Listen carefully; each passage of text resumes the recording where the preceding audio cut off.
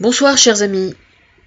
Ce soir j'ai envie de vous parler d'un truc euh, euh, fondamental euh, de notre environnement. Il s'agit de l'eau. Alors je tiens à préciser qu'il y a des inondations depuis des semaines et des semaines en Bretagne ou partout venant de l'Ouest, quoi.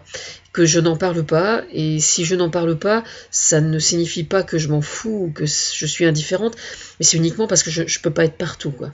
C'est un problème de disponibilité, mais bien évidemment, je ne rate rien des informations et donc je vois effectivement la situation. Alors, euh, en fait, il faut que je vous explique que j'ai une relation particulière à l'eau. Euh, vous me direz, on l'a tous, mais euh, non, je pense que j'ai une situation plus particulière encore. pourquoi? Alors, parce que mon papa a avait, enfin donc euh, avait, oui, un, herbage avec une, petite rivière. Une petite rivière euh, entre Saint-Austrebert et Pavilly. Je suis un peu en roue, excusez-moi. Et euh, j'ai des souvenirs d'enfance là-bas absolument extraordinaires. Des souvenirs de pêche, notamment, avec ma petite sœur. mon père avait acheté des, des alevins de truite et euh, il avait lâché les alevins de truite et donc il y, eu des truites, il y avait des truites quoi. Et donc euh, avec ma petite sœur, on allait pêcher à la ligne là-bas. Et j'ai des souvenirs euh, incroyables. J'adorais ça, j'adorais ça. Et c'est marrant d'ailleurs. Tiens, j'ai un truc marrant à vous raconter sur le sujet. J'ai fait un rêve il y a assez longtemps, il doit y avoir une vingtaine d'années peut-être. Vous allez pas être déçus, ça c'est sûr. Je vous jure que je vous mens pas. Euh, c'est Claude Villers qui disait euh, Seuls les fous rêvent en couleur. On peut penser que je suis folle, ça me dérange pas. Je sais que c'est faux, donc c'est pas grave.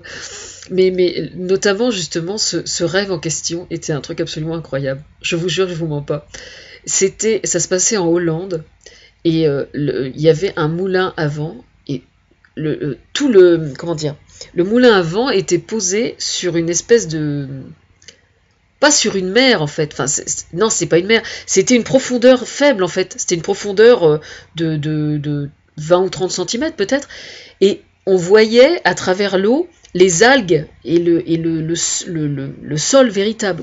Alors cette image-là me vient, je vais vous expliquer, cette image-là, en fait ce rêve-là, c'était une... Euh, venait de d'une image de la source de, de qui est à Saint-Ostrebert, là, le village où j'habite.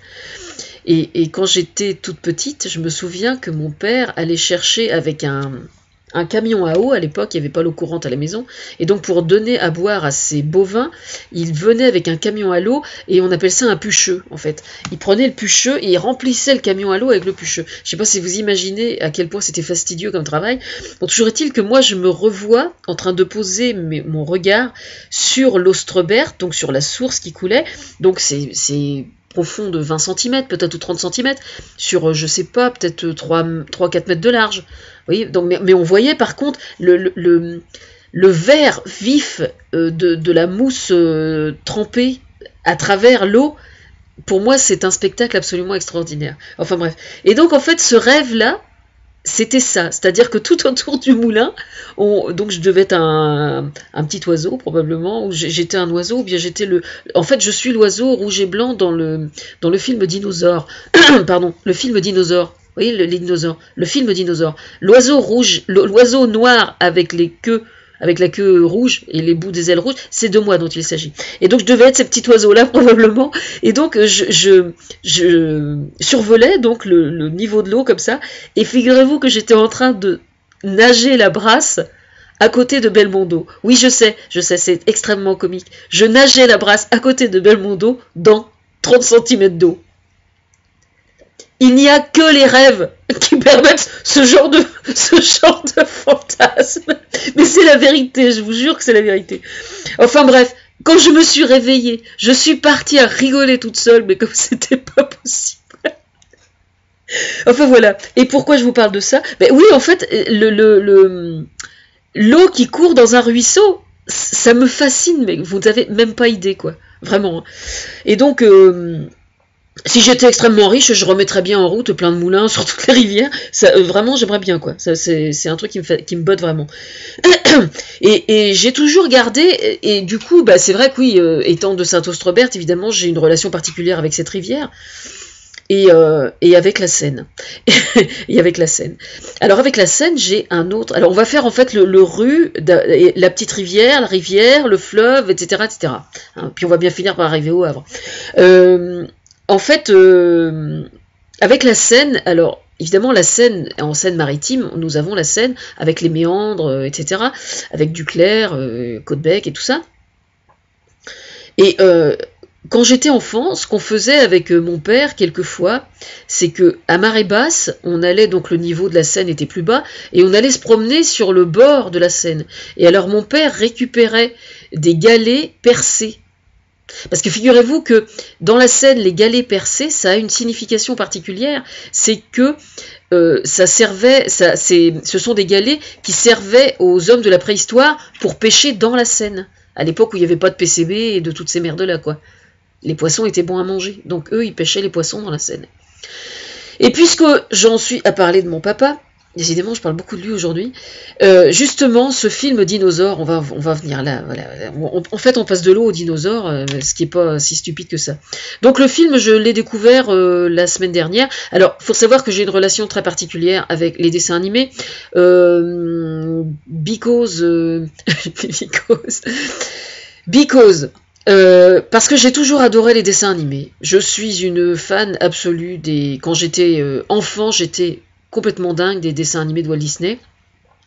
Donc à cette époque-là, évidemment, c'était Monsieur, c'était l'époque de Monsieur Cinéma et, euh, donc c'était Pierre Tchernia qui faisait une fois par an une émission spéciale et on avait droit à un petit morceau d'un long métrage de Walt Disney et euh, les gens téléphonaient pour, pour voter Enfin, nous, on téléphonait pas, mais les autres téléphonaient, et donc on avait des petits bouts comme ça. Mais pour nous, c'était euh, absolument merveilleux. Donc c'est vrai que quand nos enfants, enfin quand mes, filles étaient petites et qu'il y a eu les magnétoscopes et tout, je me disais, mais on peut acheter des, longs métrages en DVD, en, en cassette pour nos enfants.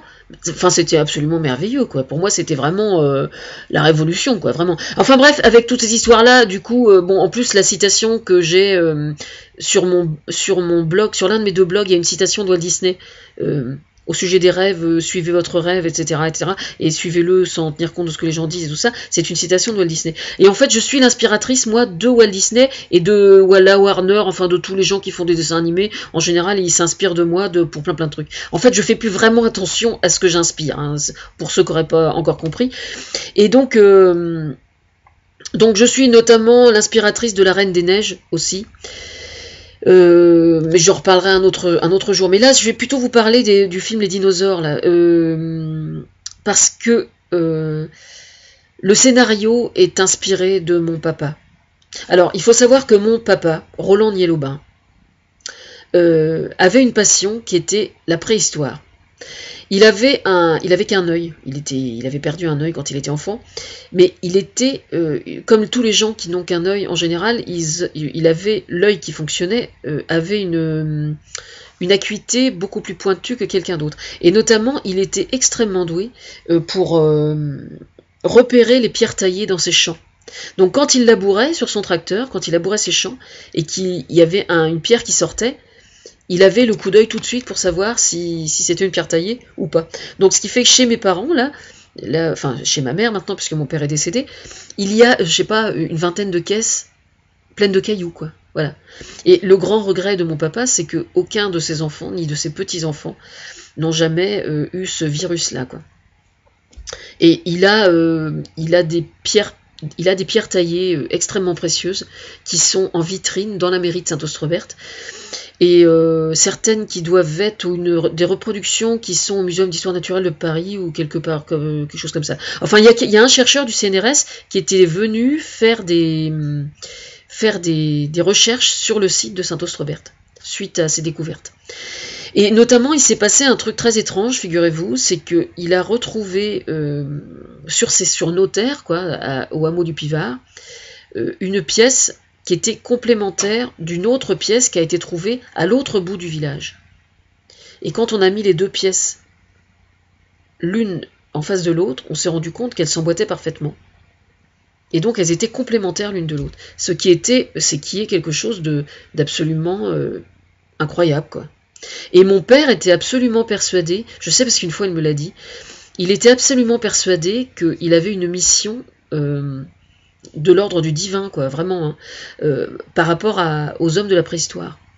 Comme si, euh, comme si les pierres qu'il ramassait étaient porteuses de quelque chose de magique. Enfin, c'est assez, assez étrange. Mais bon, c'est lui qui m'avait expliqué ça, mais il je pense qu'il l'a jamais dit à personne en fait.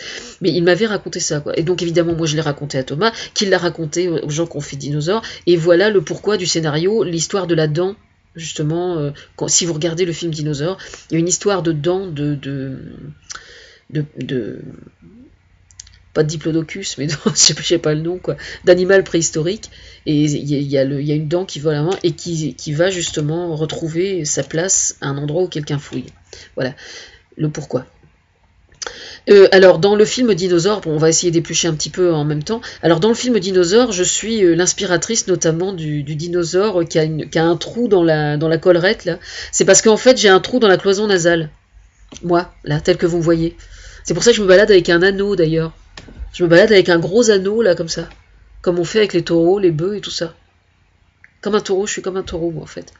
Non, mais c'est pas une blague. Alors, pourquoi j'ai un, trou dans la cloison nasale? Eh bien, tout simplement parce que quand j'étais enfant, quand j'étais adolescente, je saignais énormément du nez et tout le temps. Et donc, euh, il a fallu que j'aille me faire cautériser la plaie. Le problème, c'est que je suis tombée sur un boucher, figurez-vous. Et alors, le mec, euh, il a commencé par me m'endormir la zone. Et puis au moment où il a, où il a fini de m'endormir la zone, je sais plus comment il avait fait d'ailleurs, le téléphone sonne. Il avait un pote qui était en train de l'appeler. Alors en plus c'était la fin de journée, le mec était complètement claqué et tout. Je le faisais vraiment chier quoi. C'était vraiment. Euh, je me souviens, j'étais j'étais au lycée Jeanne d'Arc, donc je vais euh, aux alentours de 16 ans. Et euh, le téléphone sonne. Là c'était un de ses potes qui l'appelait. Le mec au bout d'une demi-heure, il était toujours là. Il était toujours au téléphone. Et moi j'étais comme un con sur le machin avec la gueule complètement anesthésiée quoi. Et je sais plus pour quelle raison. Enfin, euh, en gros, il m'a raté, quoi. Et en fait, il m'a complètement défoncé la cloison nasale. Donc, quelquevois, mais enfin, on le voit plus, on voit plus maintenant, mais ça cicatrise quand même. Mais mes fils foutent de ma gueule et quand tu rigoles, on, voit ta cloison, on voit le trou dans ta cloison nasale. Et voilà, je suis une bête curieuse. je suis une bête curieuse. Et donc voilà pourquoi le dinosaure voilà le mot que je cherchais. Dinosaure. Voilà pourquoi le dinosaure, il a un trou là dans la collerette. Enfin voilà, bah, il, doit y avoir d'autres choses euh, qu'il y avait dans le film qui viennent de chez moi, mais je, me souviens pas, je suis désolé. Et je me souviens même plus si c'est Disney ou pas. Qu'il Je crois que c'est Disney qui l'a produit, ou qui l'a coproduit, il me semble. Sinon, accessoirement, je suis aussi la muse de Tim Burton, tiens. Pendant qu'on y est, hein. on n'est pas ça près, franchement. Hein.